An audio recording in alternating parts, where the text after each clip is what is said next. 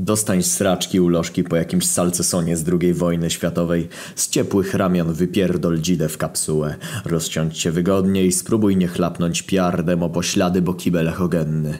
Zajeb bezczelnego gromowładnego syna aż w usach zapiszczało. Ogłuszony i zestresowany otwórz drzwi od kibla i krzyknij, czy coś słyszała. Nie, a co? A nic. Podmyj fugę i poinformuj, że spierdalasz do domu. Pożycz od lochy rower, żeby szybciej wrócić. Kolażówkę.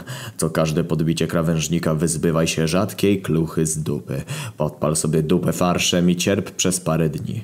Okazało się, że zaraziłem lochę grypą żołądkową, tylko ona zamiast srać to żigo.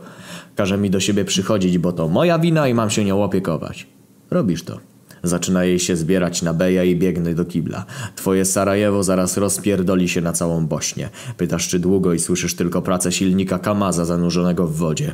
Wypierdalasz łazana na podwórko, wypinając dupę i srając pod kubły na śmieci. Po sukcesywnym wydaleniu dostrzeż, że nadsrałeś jakieś inne gówno. Zacznij głośno się śmiać. Poczuj szturchnięcie palcem na plecach. Sąsiad Lożki z zaogrodzenia powiedział mi, że nikomu nic nie powie, jak tak lubię. I odszedł.